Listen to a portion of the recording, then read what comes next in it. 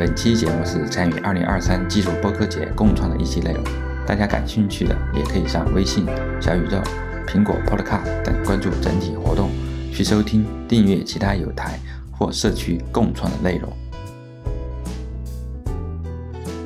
大家好，你正在收听的是由欧长坤和杨文主持的《Go 夜聊》。《Go 夜聊》是一档主要针对 Go 语言发展史的技术讨论节目。我们的宗旨是让更多的人了解 Go 语言的发展历史和未来规划。希望大家在这里可以了解到 Go 语言的方方面面。如果你觉得《Go 夜聊》做的还不错，欢迎你推荐给身边的朋友。如果你对我们有任何意见或建议，请给我们来信。我们的邮箱地址是 hi at talkgo dot fm。我是杨文。大家好，我是欧长坤。呃，大家好，叫我 Andy 就可以了。欢迎 Andy 来参参加我们的这个节目啊，我们呃很高兴可以邀请到 Andy。Andy 的话是有多款开眼项目，可能大家有一些已经知道啊，有 GoLet，然后有 Ant，然后也有 GoPerse。我们要不先让 Andy 给我们来做一个自我介绍吧安迪，啊，好，我一六年毕业，一开始是在那个腾讯那边工作。我是一六年，然后到一八年底，然后后来后来就离职，然后就去了那个亚马逊那边，然后在在亚马逊那边做做 SDE，在那边待了待了大概有一年多的时间吧，然后就离职了，然后就又回到那个讯。啊，在那个腾讯游戏里面做那个 infra，就做一做基础架构。后主要的话，我，呃，我从毕业开始在腾讯、亚马逊，反正主要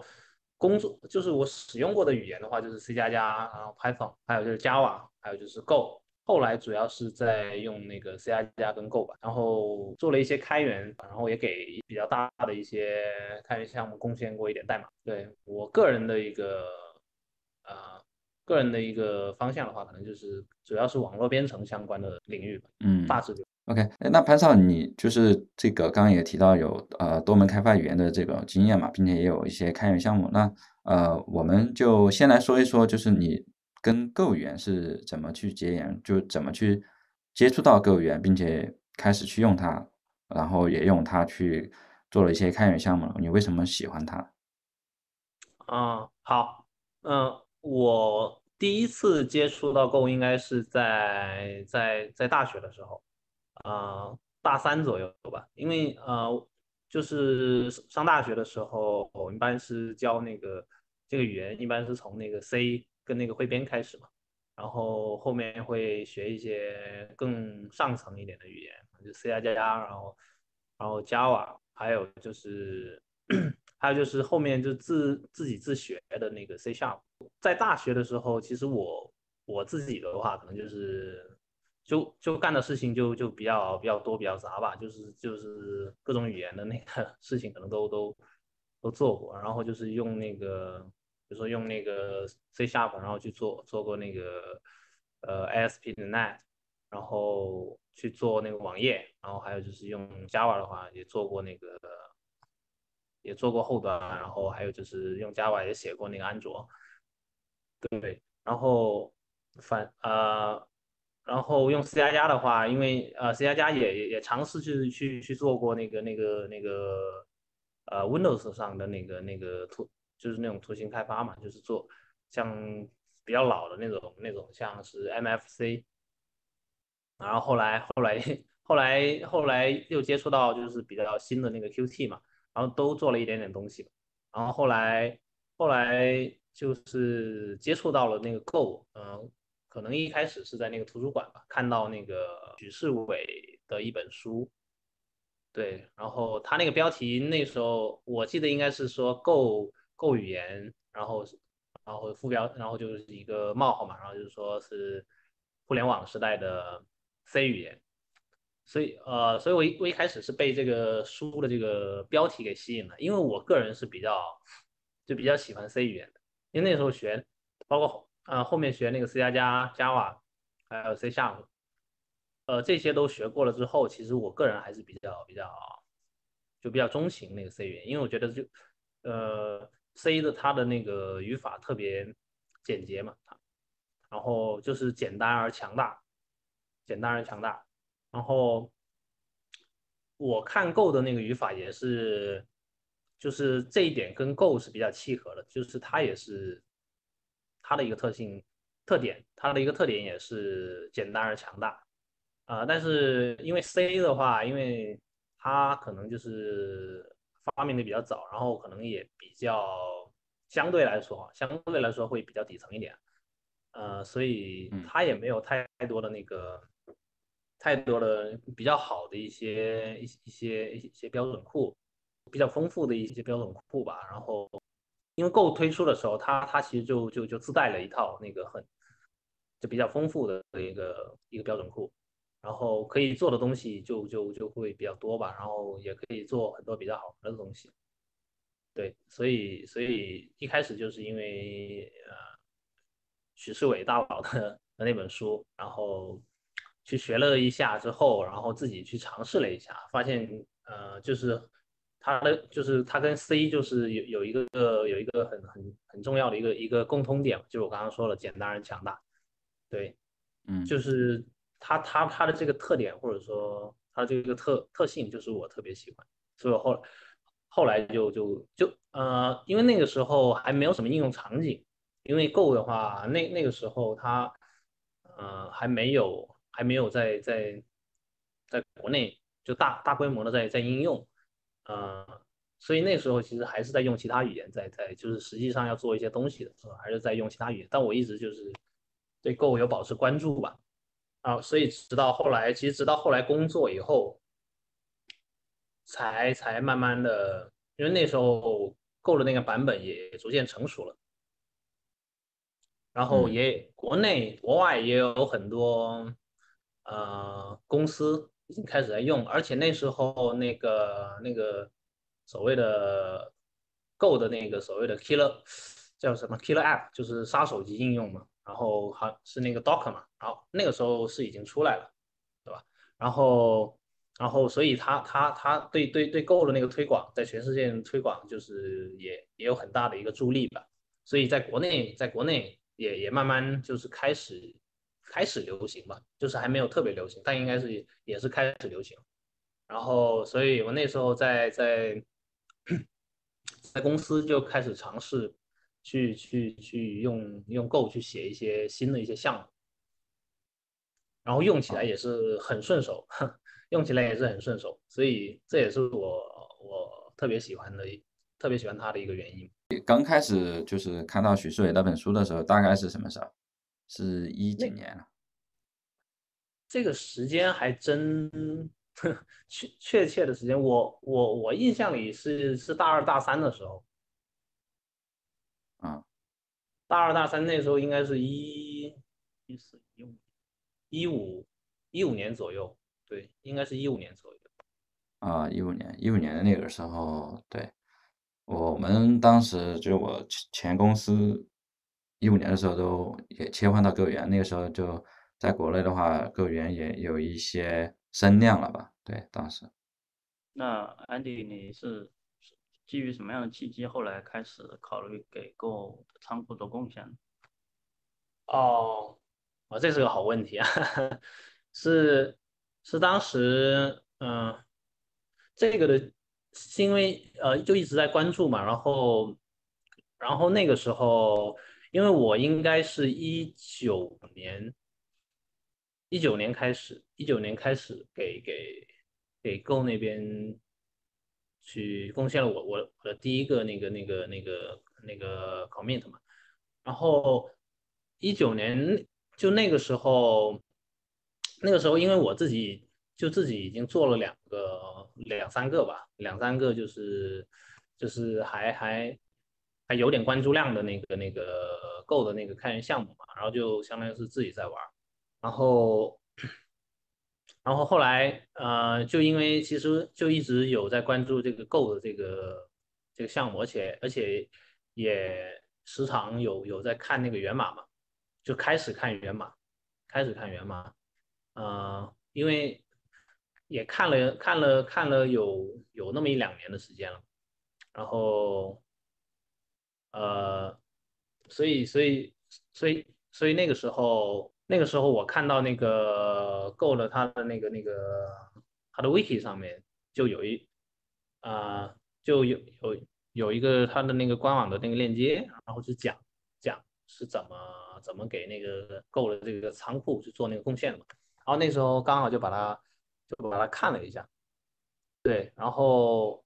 看了一下之后就就有有一点跃跃欲试的感觉，然后然后就然后就去看了一下看了一下啊、他的他现在的其他的其他的那些第三方的那那些贡献者，然后都就都在给 Go 贡献什么什么代码嘛，然后整个流程什么的。然后那时候看看完之后，就是发现，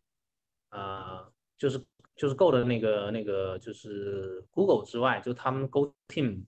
Go Team 之外的那个贡献者还是很多的，所以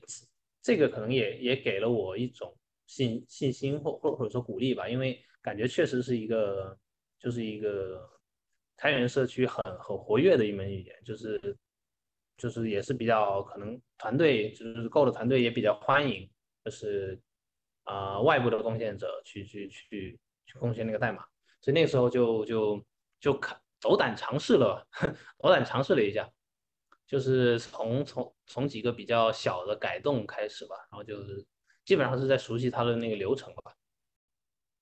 那你还记得你的第一个 commit 或者说 sale 是做什么吗？我的第一个应该是一个很小的一个很小的一个改动，就是就是它的标准库那个 stream streams 跟那个 bytes，就是那个字符串跟那个字，就是跟那个字节那个那叫什么？就字节流的那个那个那那那两个包，那里面有一个很小的一个。也不是一个 bug，也也不是一个性能优化，其实就是一个习惯的一个问题吧。它那个就相当于说是是一是一个代码写法的一个问题，就是对实际的那个实际的功能啊，没没没有什么影响。嗯，然后对对，其实就是说做贡献嘛，可能刚开始先开始吧，就是有一些东西或者有一些追求的东西，可能就是在你不断追求的过程当中，或者不断去了解的过程中，你能去呃切入到更深层的呃，不管是说内容还是说这个技术点，对。嗯，我看到就是你的这个在 GoLang 上面的贡献，其实现在在全球的话也排到大概第七十七名嘛，所以其实你后面应该也有持续再去做贡献。那你后面的这些贡献是来源于哪一些推动你方面了，就去做这些？后面的话，后面就是大概你熟悉了这个流程以后啊，就是我我我这边的话就是就就其实在，在在整个的，就是在前面几个那个我提的那个 PR 或者说那个 CL，就是的，就是给给他们啊提的这个这个这个就是这这个贡献的这个过程中嘛，然后就 Go Team 那边是需要 review 嘛，对吧？他需要那个 review 你你的代码，然后嗯然后可能会有一些会有一些 comment，然后就是说就就让你去去去改进啊或者干嘛，然后你改完之后再再重新再重新 push，然后再再改就就相当于是跟这个 reviewer 就相当于是就一直在交互嘛，就是在前几个我我提交的这个 commit 这个过程中间，我我我个人的体验是比较好，就是就是我感觉，因为因为我当时就当时其实呃，可能前面一些都是一些比较小的一些一些贡献嘛，当然有看到是可能是一些很很很知名的一些一些一些程序员大佬，对吧？然后就是你之前就可能就就就已经有知道他了，然后比如说比如说就是可能跟我这边就是交互最频繁的，就是就是 review 我很多代码的那个叫叫 Ian 对吧？叫 Ian Ian Taylor 对吧？他他是可能就是大名鼎鼎嘛，然后就还有其他的那个其他的大佬，然后整个过程中间就发现就是呃就是 大佬们都很很很 nice 对吧？然后就很很也也很谦逊，然后给就是给就给我们这种这种新人菜鸟对吧？然后是呃感觉是非常好了，就是所以所以这个这个体验是是导致说后面后面还还想说持续的给 Go 的那个源码做贡献的一个一个一个原因之一吧，对吧？然后第二个是，当然第二个更更主要的一个一个原因就是说是自己想学习嘛，想学习进步，然后想通过通过通过这个这个呃学习它的那个呃一门编程语言的它它的一些源码，对吧？然后就是精进自己的的编程能力，或者说是是技术水平吧。对，这个当然是可能是是更大的一个更大的一个一个主因吧。对，所以后来就是因为后来也持续一直在看够了一些源码，然后看的过程中就是就就会发现有一些地方可能是可以优化的，就是从我自己的观点来看，或者说。有更好的 有更好的写法，或者说你想给它加一些加一点东西进去，就是你自己自己想要就觉得够应该有的一些东西，就大概是是是是这样的一个，就是在在在看源码的过程中，大概有有有有这些想法，所以就慢慢就就给它加。当然后来还有一些是可能会呃时不时去关注，就是够在那个 GitHub 上面。的的那个 issue 对吧？那有人提 bug，或者或者说有人提那个 proposal，就是他想在网购里面加东西，加一些新的 API 啊，或者加了一些新的功能，或者是啊是啊反馈一些 bug，然后你如果说在你的能力范围之内，你觉得你能你能修复这个 bug，或者说你能给他这个给他给他的这个提案，你能实现他这个提案，那这样的话你就会就可以顺手去做嘛。OK，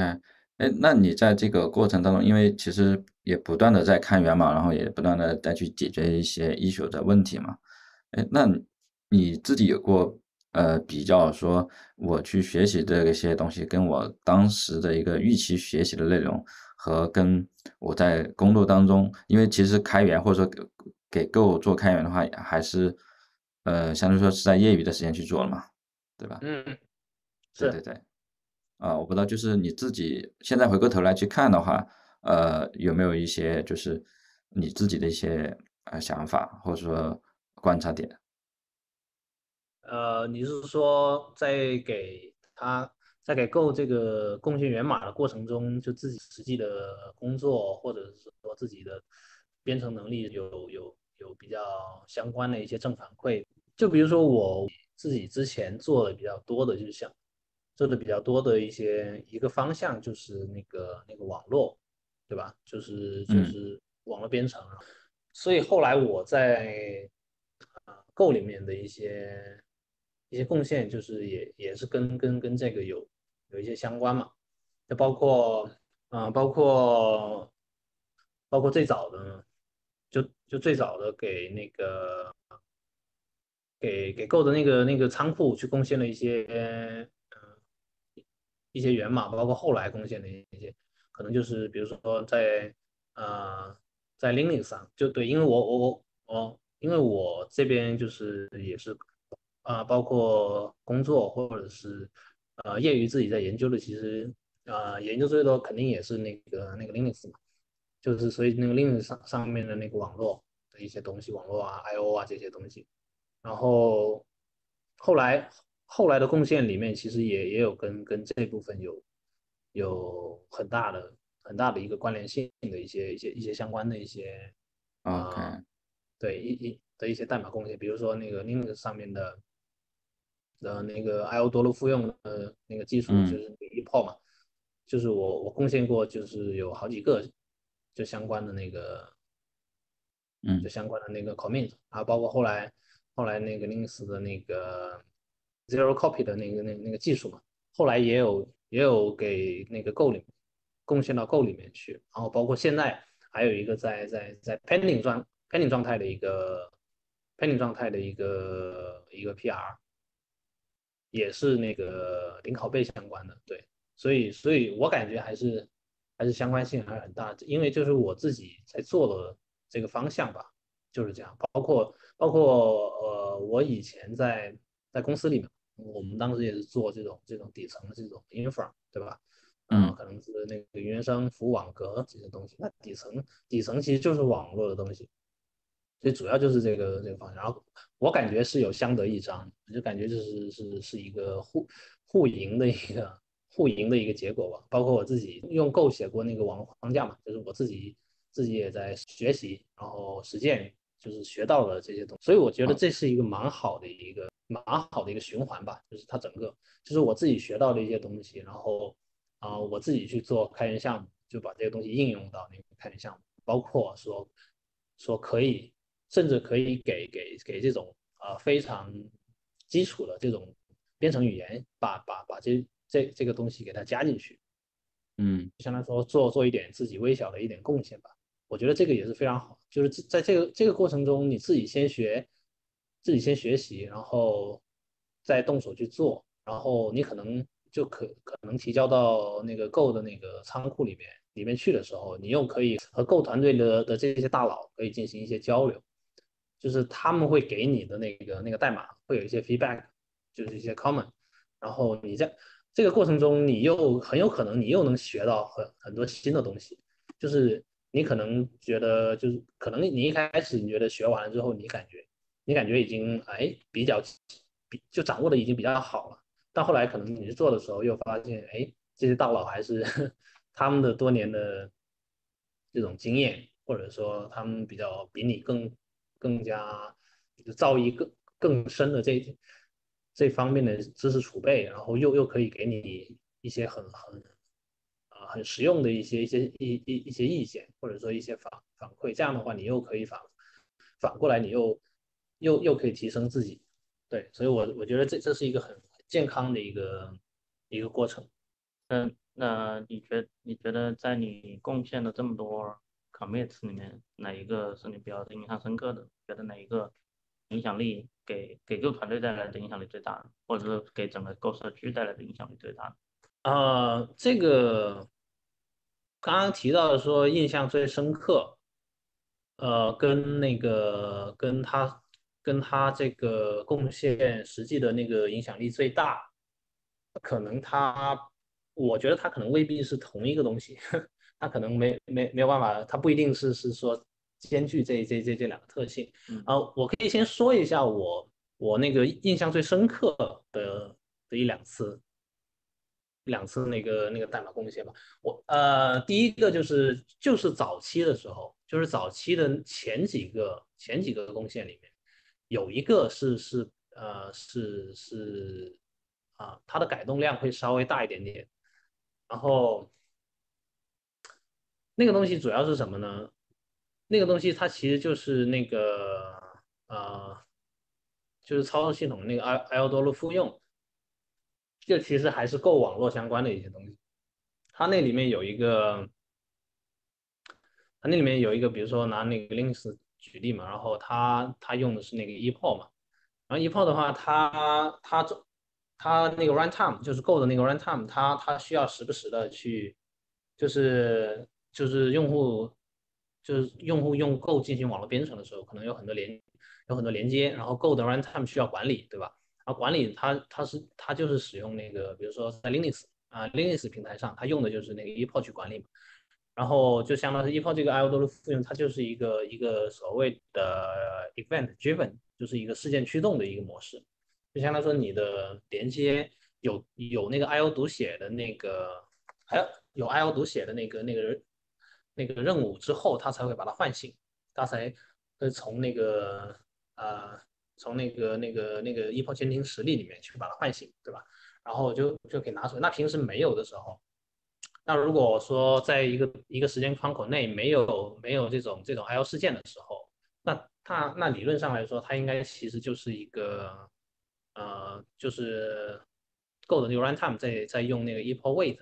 在等等待这些事件的过程中，它其实就呃，它其实就就是一个阻塞的一个状态。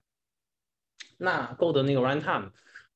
就如果熟悉呃呃有有一点了解，可能就就。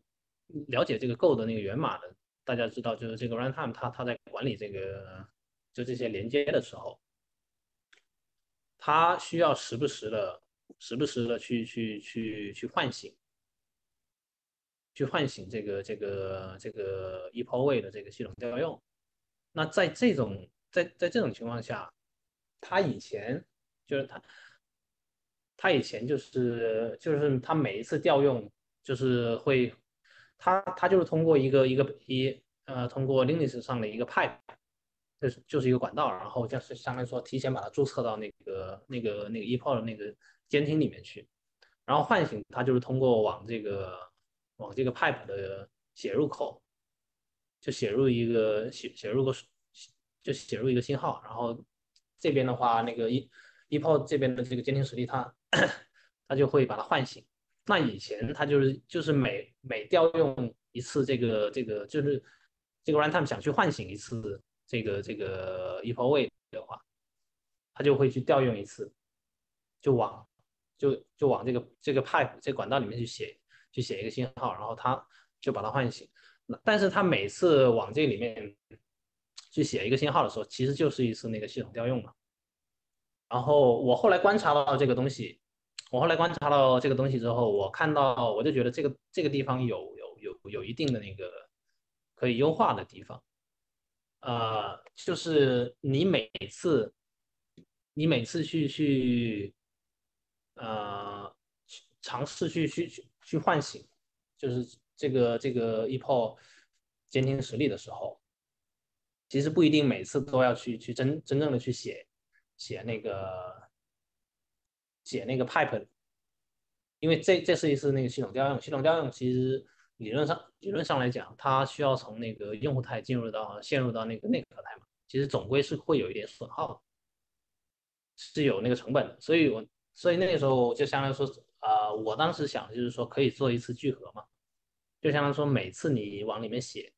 你要唤醒的时候，其实你比如说假设说如果有那个有有并发。去调用那个那个需要调用那个函数去去唤醒这个这个 EPO 实例的时候，啊，如果是以前的代码，就是以前的代码，它就会你比如说你调用两次三次，它它就会写两次三次，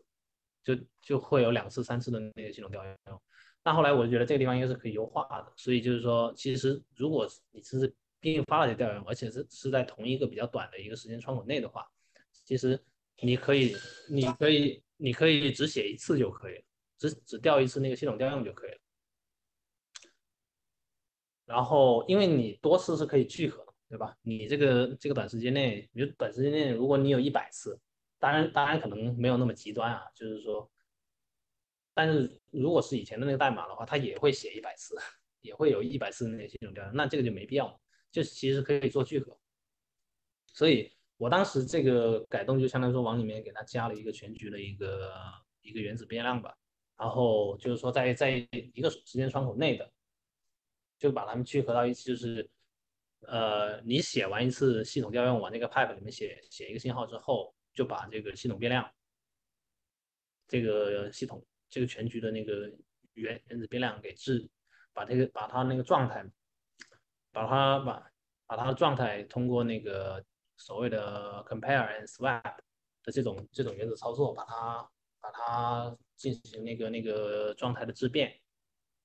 那这样的话，如果有并发的那个调用的话，这样的话后后续的调用其实就不用再再再再再进行系统调用了，就只有一个就可以了。那把它唤醒之后，唤醒之后再把它重新这个状态给置为啊置为空，然后下一次。别人想要再调的时候，又又可以继续写，这样的话就是相当于说，在在在理论上是可以节省这种并发调用的这种，减少那个系统调用。那这是一个呃，这是一个改动吧。那这个为什么印象深刻呢？是因为是因为一开始一开始就是就是为我这个代码的是那个是那个 Ian，然后他他一开始其实他的他的态度不是很。呃，就不是很很怎么说呢？就是他他一开始是比较怀疑说这个东西，这个东西呃有没有必要做？当然，所以因因为因为因为他考虑到说，确实现在这种这种说所谓这种并发调用的，在就是这个 runtime 它的那个并发调用，其实啊，目前来讲可能说不会特别多，就是嗯有没有必要这么做，对吧？就是你引入这个，相对来说引入了那个代码代码复杂性嘛，就是你把这个这个过程给变得更更复杂了。对，然后然后当然我我我其实也也是很也是也是理解他他他他的这个观点的嘛。对，但是我我依然还是坚持说这个东西还是还是要加，因为我们现在，因为我，所以我当时就把那个把把我自己的那个想法就说给他听嘛，然后然后我就呃就持续的跟跟跟跟那个燕在在在进行讨论，啊、就是就一直就就这个观点在在进行讨论，然后。然后，因为我我的观点就是，就是 runtime 它它它其实还还是有潜在的这种潜在的这种可能性，会会会会出现这样的这这种局面，就是需要在需要可能可能需要多次的去去去去去进行唤醒，然后也有可能是在那个在短时间之之内。那这样的话，我就一直，但后来后来就是不了了之了。后来就是这个讨讨论到最后，其实就相就相当于是双方各执一词吧。就是后来就是后来伊恩的态度也变得比较比较暧昧吧。他他他觉得也可以，他觉得说这个确实这个这个这个这个这个这个 idea 可能可能确实是可行的，就是说嗯也也也应该有潜在的好处吧。但是他还一直有一点就是拿拿捏不定，就是 他也不太确定说，呃，说因为这个这个说，这个说如果引入的话，其实其实不太容易，就不太容易说能够很很很明显的可以看到，就是说说你这个合入之后，很明显的就就可以看到有很性能上面的提升了，好像也也并不是这样，但是确实是是会有一个比较潜在的一个好处，就是理论上的一个好处。所以他也有点拿捏不定，但我也我也不知道怎么说服他，所以那个时候，而而且这个东西也很难测试，就是你很难去模拟，很难去去模拟这样的场这这样的场景。所以后来我我自己也搁置了，所以这个东西大概有搁置了有半年多。那后来，那后来因为我呃，因为我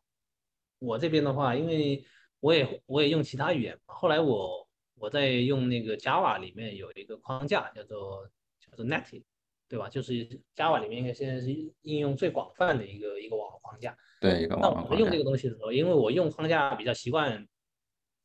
比较习惯就是说有一个习惯就是想喜喜欢去看它的源码。然后后来我在看的时候，我就发现，哎，它里面有一个比较相似的，就是跟 Go 这个这个 runtime 这个地方有一个比较相似的一个地方，就是。也也是，它也是，因为像因为现在这种所谓的网络框架，不管是什么语言，它其实啊主流还是基于说是，我们就说那个 Linux 平台是基于那个 Linux 平台那个 EPO 嘛，那啊那 Netty Java 的那个 Netty 它也不例外，所以它用的也是这个。然后我在看那个地方的时候，哎，我发现它有一个，就是它它也有一个需要唤醒这个这个依靠实力的这个需求。然后他也，呃，他这里面也做了这个，也做了跟我之前网购里面在网购那个提的那个那个那个提的那个那个 PR，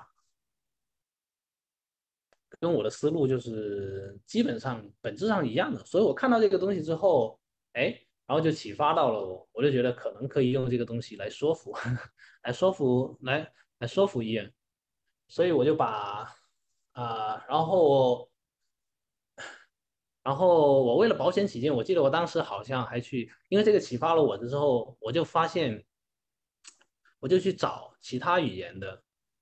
这种这种网络框底层的这种网络框架，比如说 C 语言的、C 加加的，还有其他语言的，然后我都去找了一下，然后来我发现，哎，其实还有蛮多，确实都有都有类似的这种这种思路。所以我就把把这些东西收集一下，然后就是，呃，在在在在那个 PR 里面就是重新激活了一下，然后就找那个 Ian 就把这些东西发给他看了一下，呃，后来后来他确实是是被我说服了，因为因为因为他之前就已经其实已经被我说服了差不多了，但是还还处在一个最后的一个呃不太确定的一个结论，因为他他也觉得说这个加进来可能确实也是啊，他觉得应该也是有好处的，但是他也还没有一个很强有力的一个观点去说服他。那后来我把这这些东西收集起来之后给他看，说其他的那个语言，其他的那个他们的网网房间里面也有类似的那个设计。然后我记得我当时给他说的就是说他们有这些东西，就其他语言里面有。然后我跟他说，嗯，说就是我们从结果去推导他们这个去反推这个过程，就是说，因为这些都是很广泛使用的网络框架，那既然他们已经加了这个东西，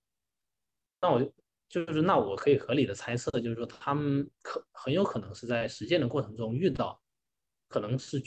呃可能很有可能是注意到了这些问题，或者遇到了这些问题，然后加入这个东西之后发发现他们引入了这个东西之后，就是可能看以前看到有有这么一些问题，然后引入了这个东西之后，确实会有一些性能上的一些优化呀，或者说是一些好处，对。但后来，那后来那个燕就就应该是被我说服了，我我记得，所以后来这个东西啊，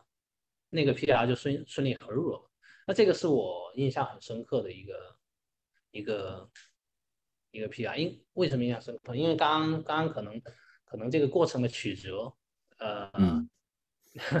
就是就大家也可以了解了，对吧？那那这个给我的一个启发就是很。我我觉得对对于我来说也是一个很很很很很重要的一个启发，就是这整个过程当中，我我就是我我意识到了，就是就这个东西啊，就是就是因为之前都是那种很简单的那种修改嘛，很简单就改一点的东西，对，都比较顺利的就合入了。那这个东西我我第一次遇到了一个一个阻力或者说一个一个挫折。但是最后还是顺利合入了。那这个整个中间的这个过程中，我自己去去自己去那个复盘的时候，我就想，呃，对我自己来说也是一个非常好的一个非常难得的一次体验。就是你整个过程中间，可能我一开始也也已经差不多要放弃了，然后因为因为后来就不了了之了嘛，就是双方各执一词，然后大家都没有办法说服彼此，那。呃，虽然最后说可能可能那个 reviewer 他他他已经他已经基本认同了你这个想法，但是你并没有给他就是最后一击，就是没有给他一个很强有力的一个一个观点，最后的最后的观点，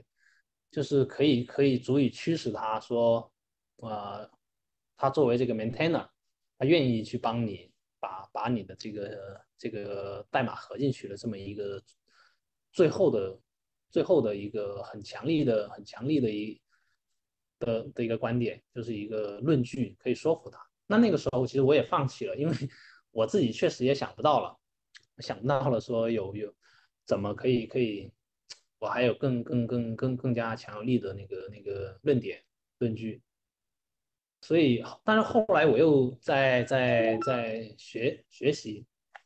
在学习其他语言的那个过程中，反而反馈到、反哺到了那个 Go 语言的那个的 Go 语言这边的那个那个代码贡献这边来，所以我觉得这是一个很神奇的一个事情。所以就是说，这给我的启发就是说，人啊，可能就程序员吧，程序员就不能不能说把自己固啊固定在某某一个技术站，或者说某某一个方向、某一个点上面。就这样，就通过说所谓的，你可以拓宽自己的眼界，然后你有时候，呃，有时候在一些可能没有关联的一些一些事情上，反而有一些很奇妙的一些联系。就是我刚刚举的那个例子，就是因为我原来是想着给 Go 去贡献这个东西，然后来遇到那个阻力之后，就是我搁置了，搁置了。搁置的期间去去在学习其他语言的那个过程中，得到了启发，就找到了这个关联，然后就反哺回那个 Go。那我觉得这是一个很很很奇妙的一个东西。所以这这个就是说，嗯，当你去拓宽自己的那个领域，拓宽自己的那个世界的时候，可能就会呃不经意的可能会会会重新会重新回到回到回到原来的地方。对，这个是这个是最深刻的一次的那个那个贡献吧。那那你觉得影响力最大的一个呢？影响力最大的应该还是那个网络相关的一个，就是就是有一个 Linux 平台上面的一个还有零拷贝的那个东西，就是就是因为，因为 Go 本身其实已经支持了一些，就是 Linux 的一些一些零拷贝的一些呃一些场景吧，像是之前就是在我那个贡献之前啊，应该它是支持那个 TCP 连接到另一个 TCP 连接。之间的那个那个读写，i 那个 I/O 读写，还有包括那个呃所谓的 Unix 读妹的 socket，就是这种本地 socket 到 TCP socket 的 I/O 的零拷贝，就是数据之间的那个拷贝。还有一个就是支持了那个文件，就是磁盘文件，磁盘文件到那个磁盘文件到那个 TCP socket 的这个数据拷贝的零拷贝。然后还有一个就是文件。磁盘文件和磁盘文件之间的数据拷贝的这个零拷贝，那后来我我这边就给他，呃，这边还有一啊，就还有剩下的几种场景是没有支持，因为像在 Linux 上使用最广泛的三种三种呃流呃三种这个流数据流数据的。流数据的这种属性的这个叫文件描述符吧，或者是就是其实就是 TCP socket，还有那个 Unix socket，还有就是磁盘文件，也就是这个 file 这三种。然后我刚刚说的那个就是 Go，它原先已经支持了四种，就是 TCP socket 到 TCP socket，然后 Unix socket 到 TCP socket，还有就是呃。那个文件到那个 TCP socket，还有就是文件到文件，就是这这几个方向的那个 I/O 拷贝啊，它已经实现了那个零拷贝。那还有我后来给他做又做又加了两种，就是就是 TCP socket 到那个文件，以及那个 Unix socket 到那个文件。呃，因为这个这个场景其实其实它也是一个实际从。实际存在的一个场景，就是一个很常见的一个场景，就是那个我们的那个日志上报。日志上报就是，比如说它是通过它过它通过我们的远端的 agent，也就是 client，就是就分布在那个那个客户端设备那边吧。然后它会有一些一些大量的一些，就是在各种各种各样的，不管是游戏业务或互联网业务，它它会有一些。数据的一些一些上报，然后有一些，然后有一些简单的一些啊，就是日志处理的这个服务器，它就会有，它就会会有一些，它就会有一些处理逻辑是把这些东西啊存到暂时先存到那个那个那个本地的那个服务器磁盘上面去。就原封不动的把这些东西存到你的磁盘上，然后会有一个另外的一个所谓的一个 agent，或者说是一个数据采集者吧，就是所谓的 data data collector，然后把这些磁盘文件在固定的这某个地方，然后把它这些东西消费掉，消费完传到那个啊，先进行一些数据采集嘛，然后传到那个那个日志系统里面去，就大概会会会会有这样的一种场景。那这样就是，也就是说，在这个过程中，它就如果你能，就是，也就是说，我们是 TCP socket 到那个磁盘文件的这个这个 I/O 拷贝的过程中，原先是不支持零拷贝。那如果能够支持零拷贝的话，那整整体的像这样的一个场景，就会有一个质的飞跃，就是一个性能会有一个质的飞跃嘛。所以后来。所以，因为有这样的一个现实的一个基础去支撑我，后来我就去把它这个东西，去在 Go 里面去给它支持了，就给它实现了，实现了这一部分。当然，这整个过程也是非常曲折，因为，因为它那个东西很难，在在在现有的，在有一些那个可以说是 Go 它以前的那个技术在吧，就是它一开始的那个设计。就是并没有考虑到这种情况，就导致这个东西就比较难做。呃，所以在做的过程中，就是一开后来也是 Ian，对 Ian 在 review 我的代码。那一开始，呃，我跟他讨论了很久吧，然后其实一开始他其实 Ian 他自己也没有一个特别好的思路，所以他大概也只只是天马行空了，然后就是很发散的就给我给了他的一些给了他的一些想法。但后来被证实，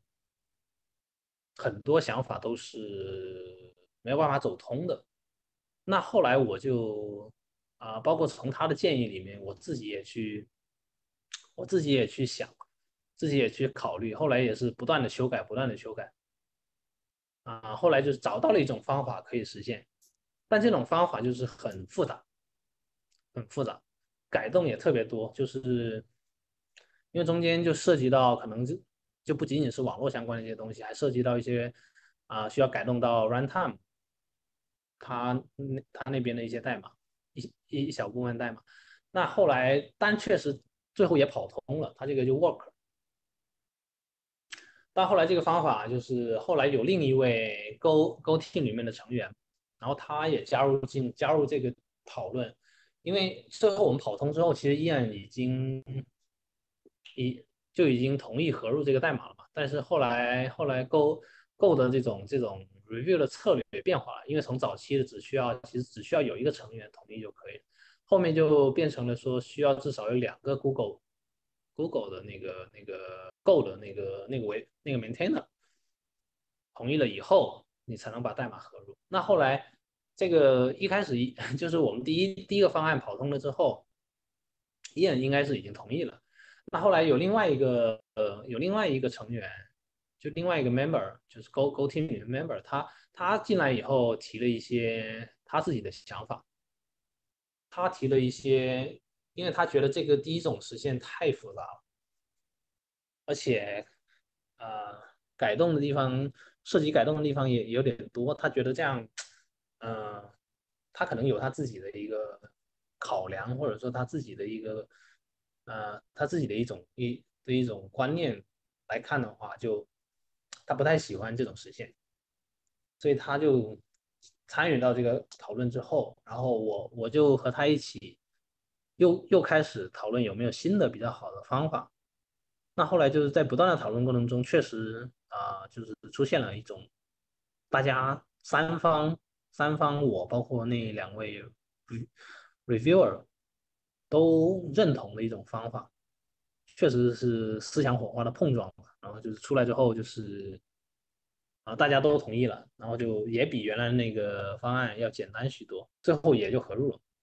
对，所以这整个这个可能是会影响会比较大的一个改动吧。因为因为说实话，其实大部分互联网业务其实它主要主要受益的一个地方，其实还是网络 I/O。就就其实都是网络服务，那这样的一个呃 Linux 上平台上的一个网络网络 I/O 的一个改进的话，我认为应该是会有比较广泛的的那个那个应用基础的，而且这个还是属于是无声无息的，使那个 Go 的使用者受益的，因为他们并不需要，因为并没有并没有并并没有涉及到 API 的改动，也没有需要新增 A。新的 API 才能做这个事情，其实是在原原有的那那个 API 里面去去进行了那个底层的那个优化。那可能对于很多之前就已经在用这个场景的那个 Go 的使用者来说，他可能就升级了版本之后，可能就会意外的发现说，突然会有一个他的服务，就是如果是刚好呃刚好就是击中了这个应用场景的话，他可能就会发现说。会有一个比较大的一个性能的一个提升。对我其实听下来发现，嗯，包括你这一个印象很深刻的改动和一个影响力比较大的改动，其实，呃，都属于呃特殊场景下的优化，对吧？因为像你说第一个第一个 commit 里面，其实你们彼此之间没有办法说服自己，说服对方，是因为，嗯。对，对方双方都没有看到一个比较强有力的证据。对，嗯，对，以前是呃，一般情况下是说我们可能做一个做一个性性能测试，然后那么我们会有一些数据来结果来支撑这个变化啊，然后那当时是没有这这种性能测试来对，因为前面也提到了嘛，就是这个场景它很难模拟，就是不太好模拟，因为它它涉及到它涉及到它涉及到其是是是那个 runtime 里面的那个调用，那这样的话其实就它就不像是一不像是一种所谓的怎么说呢？就是比如说，你可以像其他的一些优化，你可以写一个写一个 benchmark，就是 Go 它本身那个工具链也支持。其实你就是，如果你只是说你优化是某一个函数，对吧？某一个函数，某一个某一个 Go 公开的 API，你可以直接写一个那个是去测。但它但第一个的那个我刚刚提到的那个就是那个 commit，它是是因为是因为是是是那个 runtime 它内部的一个改造。也不是改造，就是它它 runtime 它它内部的一个它内部的一个优化，那这样的话就很难去模拟，很难去模拟这个场景，所以当时也是其实也是没有，因为没有办法做。那第二个的话，第二个其实跟第一个还不一样，因为第二个并没有说有观点上的争执，第二个并没有并没有观点上的那个争执，因为第二个其实从一开始。就是 reviewer 其实是很就已经是认同说这个东西本来就是一个呃一个一个会一个性能优化嘛，然后一个网络方面的一个性能优化，而且是而且而且也是实实在在的有那个比较大的那个性能提升的，这个是可以做那个性能测试的。这个我一开始也也也也提供了一些性能测试数据嘛，所以这个其实一开始并没有那个观观点上的，就是就是说应不应该合入这个代码，应不应该做这个东西的这个争执，这个没有，这个一开始其实大家都啊，其实双方都是同意的，双方都是认同，只是说这个这个的曲折是是因为说因为因为 Go 它原先的那个代码，说是可以说是一些历史。历史的一些技术在吧，就是一开始没有设计的特别好，所以要现在要要去改这个东西，要去加这个东西的话，就比较难加。所以后来就是因为这，所以这个的看这个的曲折主要是在于说怎么用怎么想到一种更好的方更好的那个实现来完成这个改造。对，对于。至于说，对于说这个的是不是是否有真正的性能提升，这个是，啊，这个是没有，这个是没有质疑的，因为我我我一开始已经做了那个性能压测的那个数据给他。然后第二个就是说，这个使用场景是不是是不是存在，这个也是没有争议的，因为它这个场景确确实实是是确确实实是是是，啊，虽然不能说是所有人都会用到，但确实是有很多。很多很多这个现有的业务是会使用到，所以这两个的这两个的都很曲折，但曲折的那个原因不太一样。